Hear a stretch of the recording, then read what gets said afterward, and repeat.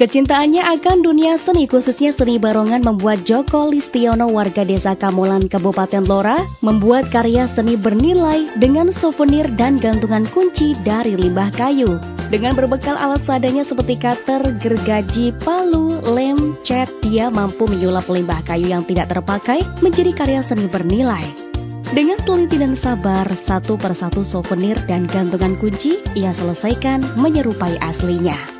Saat ini hasil kreatifnya sudah mampu menembus pasaran luar Blora. Sejumlah daerah seperti Kalimantan, Surabaya sudah menginginkan hasil karya dari tangannya.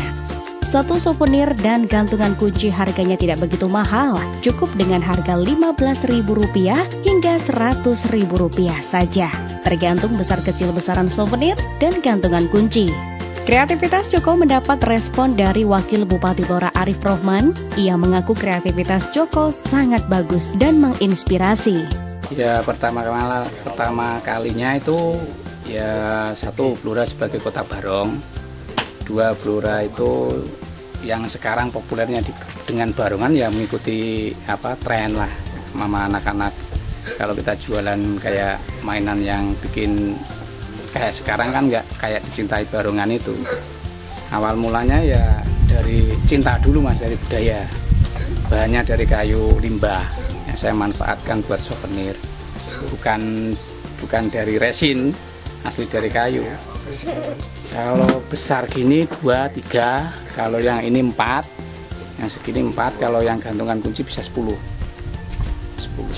Untuk harganya mulai berapa mulai dari harga 15.000 yang so, apa gantungan kunci tapi per satu lusin kalau yang ini buat ditaruh di meja itu 35.000 per 10 per 10 kalau yang ini antara 100.000 sampai 85 sampai 100.000 barongan lebih jaya mas. Saya bangga dengan orang Blora mas. Saya apresiasi ini Mas Yono bikin UKM kerajinan souvenir Barongan. Karena Blora ini sebagai kota Barongan mestinya kita salah satu mempopulerkannya harus lewat souvenir Barongan ini, ini bisa dipasarkan dengan inovasi online dan lain-lain. Diharapkan kesenian Barongan ke depan akan semakin dikenal hanya di luar Kabupaten Blora.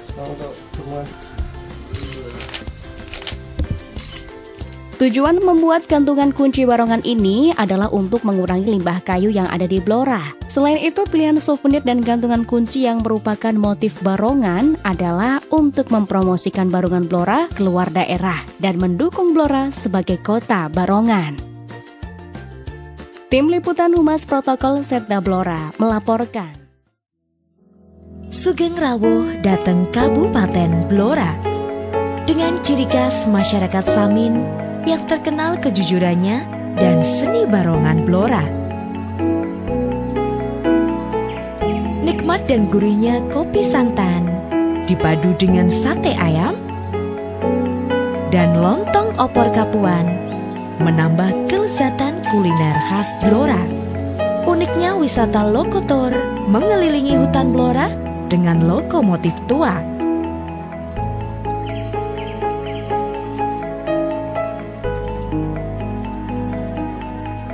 keindahan stalagmit dan stalaktit di Wana Wisata Gua Terawang yang dikelilingi rindangnya pohon jati semakin menambah kesejukan dan keasriannya.